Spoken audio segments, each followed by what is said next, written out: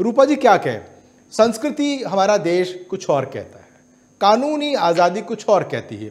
और जो नतीजे हैं, वो हमारे सामने लगातार हैं।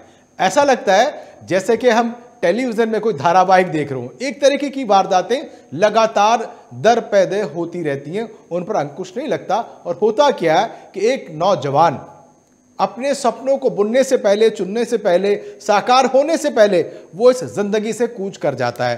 कौन जिम्मेदार है? देखिए बड़ा संवेदनशील मुद्दा है। जी। और बिल्कुल आपकी इसी बात को थोड़ा आगे बढ़ा दूँ। ये न केवल बेटियों या जो भटके हुए युवा है जिनके हाथों से ये मर्डर हो जाते हैं। मैं हो जाए हो जाते हैं इसलिए इस वक्त प्रयुक्त कर रही हूँ उस आरोपित के लिए। ये बिल्कुल सही आपने कहा। देखिए संस्कारवान होना और संस्कारवान दिखना दो अलग विषय है। हमें संस्कारवान अब ये यहाँ स्थिति ये लग रही है कि ये लड़का घर की बताई शादी को एक्सेप्ट कर रहा था यानी वो सोसाइटी में संस्कारवान दिखना चाहता था। लेकिन अभी दिलीप जी ने भी विस्तार से कहा लेकिन उस पर प्रेशर था। वो कहता था कि उसके माँ बाप का उस पर प्रेशर था। वो इसी कश्मे कश्मे था कि माँ बाप की माने या उस लड़की की माने जिसके साथ वो पाँच साल से रह रहा था। नहीं नहीं बिल्कुल नहीं।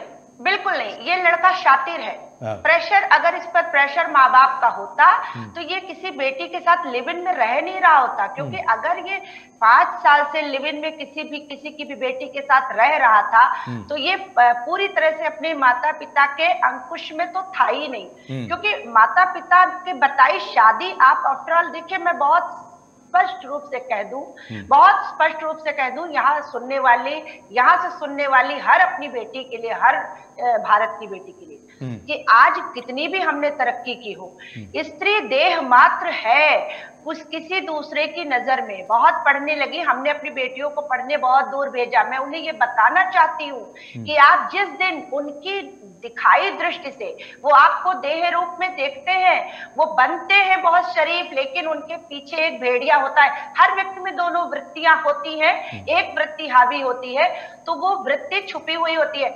आप जिस दिन अपने आप को देह रूप में प्रस्तुत कर देंगी। आप उस दिन से बहुत खतरे में आ जाएँगे। आप मित्र बन के रहिए सहयोगी बन के रहिए हम्म। बहुत वेलविशर बन के रहिए उसके हम्म। साथ पूरी मित्रता से रहिए आप सुरक्षित रहेंगे। हम्म। जिस दिन आपने बहुत नजदीकियाँ बढ़ा ली।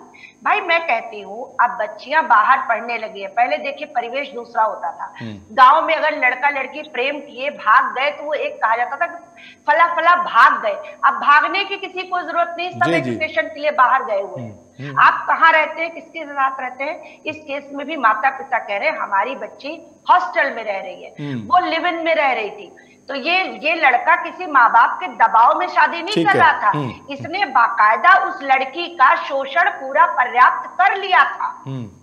अच्छा मैं ये कहना चाहती हूँ। ठीक है यानी कि अब उसका मन भर चुका था अब वो दूसरी पारी खेलने की फिराक में था।